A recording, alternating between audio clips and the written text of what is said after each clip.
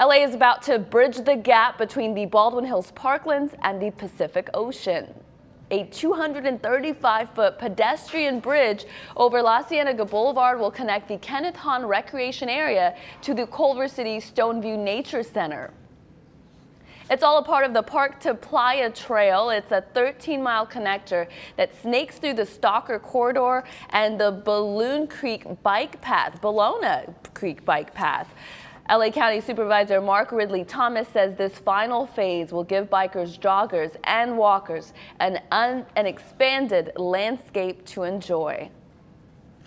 This is a beautiful way of, of celebrating the environment, a beautiful way of celebrating communities, recreation, and health.